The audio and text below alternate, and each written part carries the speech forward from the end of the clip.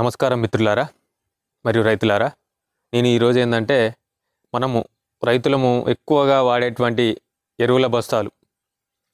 Major nutrients వ్యవసాయానికి అయినటువంటి నత్రజని భాస్వరం పొటాష్ సల్ఫర్ ఇవి ఈ బస్తాలు కాంప్లెక్స్ ఎరువులు. మనము మనకు వచ్చేటువంటి రేటు మరియు ప్రభుత్వం భారత ప్రభుత్వం ఇచ్చేటువంటి సబ్సిడీ మొత్తం టోటల్గా ప్రైస్ వివరాలు అయితే మీకు వివరించే ప్రయత్నం అయితే చేస్తా. నేను వాడిన కొన్ని బస్తాలు అయితే ఉన్నాయి. అవి అయితే మీకు తెలియజేసే ప్రయత్నం అయితే చేస్తాను అనమాట ముందుగా యాభై కేజీల యూరియా బస్తా అనమాట యూరియా బస్తా నత్రజని ఎరువు యాభై కేజీలు. దానికి మనకు పడేటువంటి రేటు రెండు వందల అరవై ఆరు రూపాయల యాభై పైసలు అనమాట అంటే రెండు వందల అరవై ఏడు రూపాయలు. దానికి వచ్చేటువంటి సబ్సిడీ రెండు వేల తొంభై తొమ్మిది రూపాయలు అనమాట రెండు వేల తొంభై తొమ్మిది రూపాయలు. మనం పడేటువంటి మొత్తం యాక్చువల్ రేట్ ఏంటంటే రెండు వేల మూడు వందల అరవై ఐదు రూపాయలు. అంటే రెండు వేల తొంభై తొమ్మిది రూపాయలు ప్రభుత్వం ఇస్తుంది అనమాట భారత ప్రభుత్వం. రెండు వందల అరవై రూపాయలు యాభై పైసలేమో మనకు రైతుకు పడేటువంటి రేట్ పర్ బ్యాగ్ యాభై కేజీలది. నెక్స్ట్ డిఏపి తీసుకున్నట్లయితే యాభై కేజీల డిఏపి అంటే డయామోనియం ఫాస్ఫేట్. దీంట్లో ఏంటంటే పద్దెనిమిది శాతం నత్రజని నలభై ఆరు శాతం భాస్వరం ఉంటుందన్నమాట. ఇది యాక్చువల్గా మనకు రైతుకు పడేటువంటి రేట్ పదమూడు వందల యాభై రూపాయలు.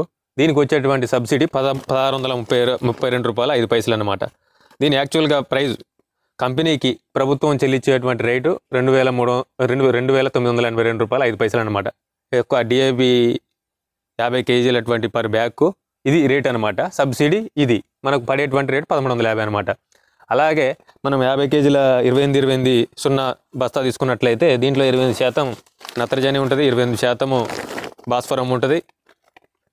దీనికి మనకు రైతు పడేటువంటి రేటు పదిహేను వందల రూపాయలు అనమాట సబ్సిడీ పదహారు వందల నలభై ఐదు రూపాయలు ముప్పై పైసలు. దీని మొత్తం టోటల్గా రైట్ యాక్చువల్ రేట్ వచ్చేసి రేట్ వచ్చేసి మూడు వేల నూట నలభై ఐదు రూపాయలు ముప్పై పైసలు అనమాట ఇది ఇరవై ఎనిమిది ఇరవై ఎనిమిది సున్నా అనమాట నెక్స్ట్ ఇరవై ఇరవై సున్నా పదమూడు వచ్చేసి యాక్చువల్ రేటు రెండు వేల నాలుగు వందల నలభై మూడు రూపాయలు నలభై పైసలు అనమాట మనకు రైతు పడేటువంటి రేటు పన్నెండు వందల యాభై రూపాయలు. సబ్సిడీ పదకొండు వందల తొంభై మూడు రూపాయలు నలభై పైసలు అనమాట యాభై కేజీల బస్తాకు. అలాగే ఎంఓపి మ్యూరేట్ ఆఫ్ పొటాష్ అనమాట దీని రేటు రైతుకు పడేటువంటి రేటు పదిహేడు వందల రూపాయలు. ప్రభుత్వం ఇచ్చేటువంటి సబ్సిడీ నాలుగు వందల డెబ్బై ఏడు రూపాయలు ముప్పై ఐదు పైసలు అనమాట దీని యాక్చువల్ రేట్ వచ్చేసి రెండు వేల నూట డెబ్బై ఏడు రూపాయలు ముప్పై ఐదు పైసలు అనమాట నెక్స్ట్ పది ఇరవై ఆరు ఇరవై ఆరు. దీంట్లో ఏంటంటే పది శాతం నత్రజని ఇరవై ఆరు శాతం భాస్వరం ఇరవై ఆరు శాతం పొటాష్ ఉంటుంది అనమాట దీనికి సబ్సిడీ పదహారు వందల అరవై ఏడు రూపాయలు అరవై ఐదు పైసలు. టోటల్గా దీని ప్రైస్ వచ్చేసి రెండు మూడు వేల నూట ముప్పై ఏడు రూపాయల అరవై ఐదు పైసలు అనమాట నెక్స్ట్ సింగిల్ సూపర్ ఫాస్ఫేట్ రైతు పడేటువంటిది ఐదు వందల డెబ్బై ఐదు రూపాయలు. దీని సబ్సిడీ మూడు వందల నలభై మూడు రూపాయలు అరవై పైసలు. దీని టోటల్ రేట్ వచ్చేసి తొమ్మిది వందల పద్దెనిమిది రూపాయలు అరవై పైసలు అనమాట నెక్స్ట్ మూడు పదిహేనులు. అంటే నైట్రో ఫాస్ఫేట్ విత్ పొటాష్ అనమాట ఇది పద్నాలుగు వందల డెబ్బై రూపాయలు.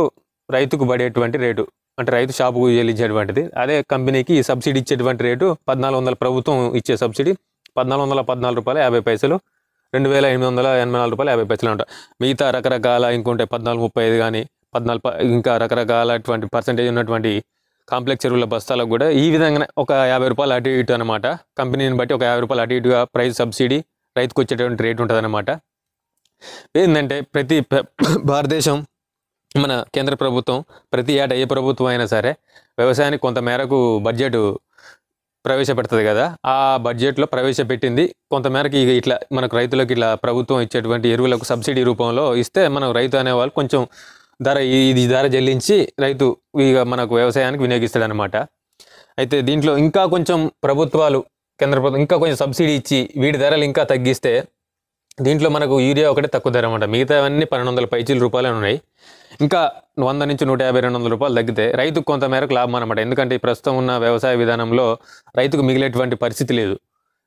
కొంచెం సబ్సిడీ ఇచ్చి ఇంకా ఎరువుల బస్సాలు కూడా మెయిన్గా మనకు రైతుకు లాభం రావాలంటే ఎరువుల బస్సాలు తగ్గిస్తే రైతుకు చాలా వరకు పెట్టుబడి తగ్గుతుంది అనమాట అందువల్ల ఇంకా కొంచెం తగ్గించేటువంటి ప్రభుత్వం ఇంకా ఎక్కువ బడ్జెట్ను వ్యవసాయానికి ఇంకా కొంచెం ప్రవేశపెట్టి ఎరువుల బస్తాలకు ప్రత్యేకంగా ఇంకా సబ్సిడీ ఇచ్చి తగ్గిస్తే ఇంకా రైతులకు బాగుంటుంది అనేది నా ఒక రైతుగా నా అభిప్రాయం అనమాట అందరి రైతులకు అభిప్రాయం ఇదే ఉంటుంది.